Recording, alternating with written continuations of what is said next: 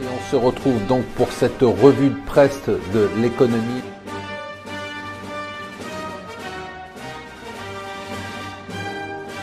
Bonjour et bienvenue sur mon financier pour la revue de presse de l'écho. Nous sommes le vendredi 25 novembre et le titre euh, de la une des échos, mais aussi euh, du Wall Street Journal, c'est la hausse des taux. La hausse des taux, bah, vous le savez, les taux euh, remontent depuis l'élection de Trump.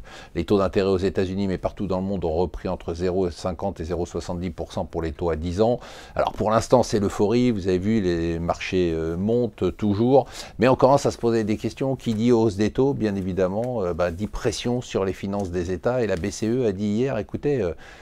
euh, vous n'avez pas profité de cette manne incroyable qu'on vous a donnée pendant des années pour faire le ménage chez vous. À part l'Allemagne, aucun pays n'a réduit de façon significative ses déficits et donc sa dette. La France a sa dette qui dérape. Et du coup, maintenant, avec les taux qui remontent, le service de la dette va augmenter. Ça veut dire que pour le budget de l'État, ça va être un poids supplémentaire. Donc, un problème aux États-Unis, nous dit le Wall Street Journal, le problème est différent. Euh, c'est la sensibilité qu'ont les Américains au taux d'intérêt, à la fois en consommation, mais surtout pour les prêts hypothécaires.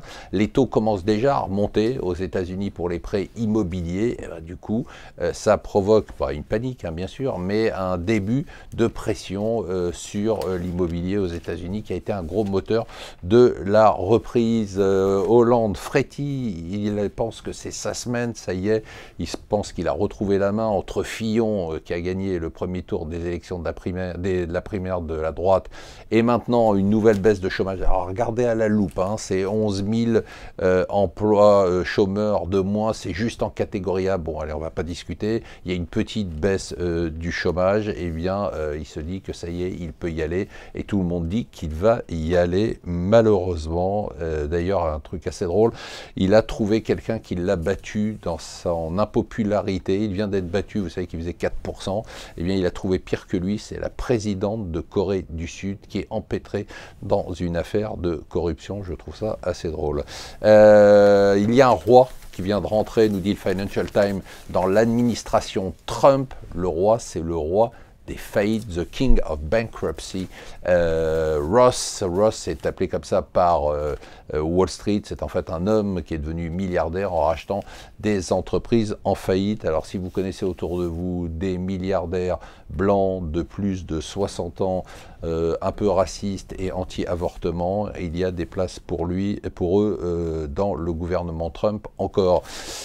Ça y est, euh, c'est reparti et c'est reparti vraiment à la hausse de façon spectaculaire. Les prix de l'immobilier, nous dit le Figaro Économie, flambent. On parle de 8490 euros le mètre carré à Paris euh, début 2017. Ça sera un record. Et c'est pas simplement à Paris, c'est bien évidemment partout et notamment en province. Et enfin, bon, j'imagine que vous avez regardé euh, Gad et euh, Kev Adams hier sur la 6. Bon, bah, pour ceux qui n'ont pas regardé le débat, c'était un débat euh, qui s'est bien tenu, dans lequel euh, on a eu deux candidats qui manquaient totalement de charisme, devant lesquels on s'est endormi, mais qui ont eu le mérite au moins d'être clairs sur leur programme. D'un côté, côté, on a un programme à droite-droite, de l'autre côté, on a un programme au centre-centre. Je vous rappelle que ce soir à 19h, on a une émission exceptionnelle, c'est votre argent, avec une question d'argent très particulière, puisqu'on va se demander quel placement choisir pendant euh, cette période de remontée des taux d'intérêt et de possibilité de hausse de l'inflation. Voilà, restez avec tout sur mon financier.